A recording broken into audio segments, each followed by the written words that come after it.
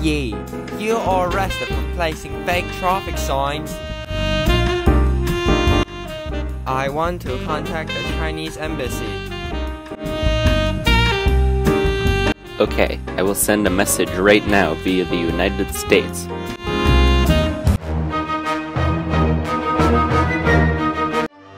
Hello, are you ready for a road trip anymore? No way. Make sure that Yi does not escape.